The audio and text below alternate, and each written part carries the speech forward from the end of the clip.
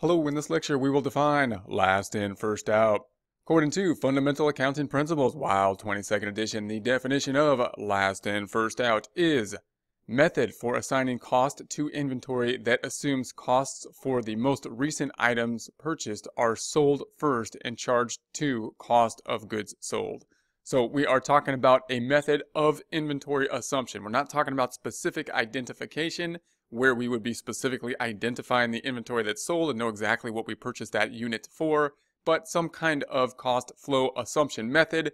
Last in, first out is uh, similar to first in, first out, or an average method in that those are going to be the types of assumption methods. Last in, first out usually being a method that's more counterintuitive to most of our thoughts when we try to think of the physical flow of inventory. We would generally think that we would want the physical flow of the inventory to be that the first unit that we purchase would be the first unit that we sell.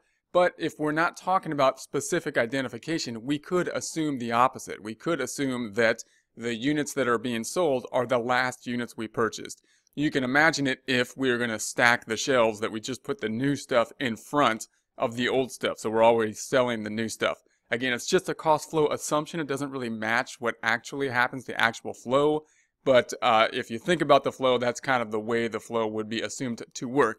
If we take a look at an example, we can say that we have inventory, we're selling these coffee mugs, and uh, we're going to sell these 420 mugs at $85. They're really expensive, but that $85 is the sales price, not the cost. If we want to know the cost, we have to go to our worksheet over here, and we see that we purchased 100 units at $50 for 5,000 of the ending inventory, and we purchased another 400 units at $55 for 22,000 of the ending inventory.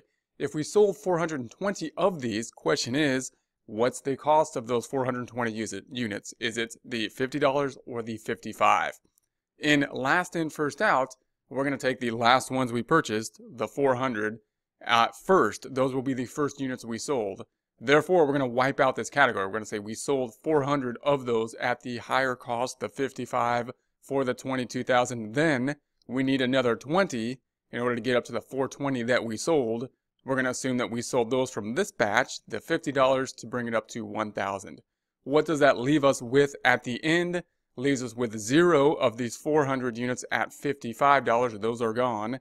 It leaves us with 100 minus uh, the 20 or 80 of these $50 units at 50 and that's the 4,000 units.